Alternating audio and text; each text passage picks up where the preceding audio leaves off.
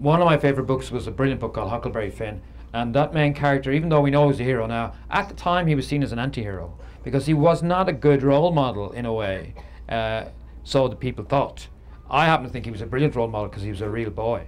Uh, but he used to smoke a pipe, he used to swear, he, he went on, the, on a raft, he hated school, skipped out of school, hated church, uh, and he went down a raft with a slave. Like, that was amazing at the time that someone would be doing this and would be in a book because usually all the heroes were like straight up, you know, square jaws, hands on the hips, and they were fighting pirates, and it was fantastic. And I'd never liked those guys as much as I liked Huckleberry Finn because I felt if I was with Huckleberry Finn, I could hang around with him, and I wouldn't, I wouldn't feel, uh, I just feel just the same as him. It'd be great.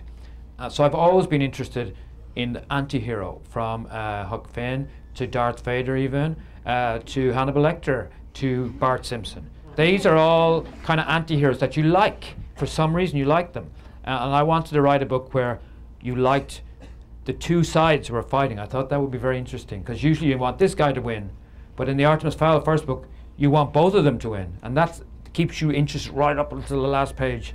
Uh, and so that's that's the idea. I thought it was an exercise for me.